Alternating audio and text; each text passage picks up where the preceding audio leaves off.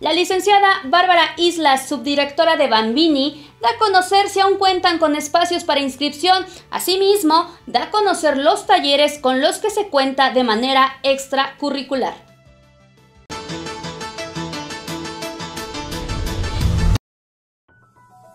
Todavía hay unos eh, cuantos espacios en maternal.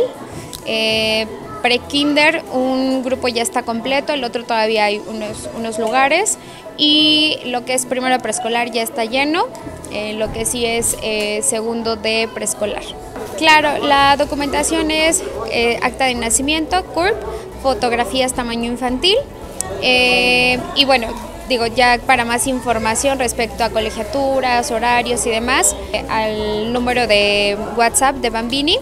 Y los horarios en cuestión a maternal y prekinder son a partir de nueve y media a una y media, son cuatro horas, y de preescolar tenemos un horario extendido eh, donde inician los pequeños 9 de la mañana y terminan a las 2 de la tarde. Por las tardes contamos con diferentes, eh, tenemos lo que es estimulación temprana, fútbol, danza polinesia, inglés por supuesto, asesorías de tareas eh, y estimulación del lenguaje y estamos por aperturar otras actividades. Los talleres de la tarde es a partir de tres años hasta adultos. Eh, excepción, digo, hay excepciones con, con, los diferentes talleres, por ejemplo, inglés sí es hasta adultos, desde tres hasta adultos, eh, lo que es fútbol es de tres años hasta 12 años, y bueno, ya lo que es este estimulación temprana, pues va dependiendo de las etapas de los pequeños por meses. Y este asesorías y terapia de lenguaje, igual de 3 a 12, es más, hasta 14, 15 años, vamos recibiendo, dependiendo, digo, se canalizan primero y vamos este, viendo si podemos trabajar con ellos.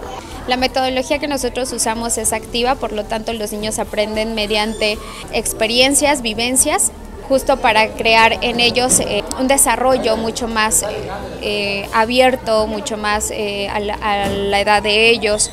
Y pues bueno, bienvenidos, gracias por de verdad confiar en nosotros y pues para todos ya saben que las puertas de Bambini están completamente abiertas y disponibles para que ustedes puedan venir, conocernos y pues también darse la oportunidad de ver lo que estamos creando y las nuevas, pues las nuevas cosas que venimos innovando.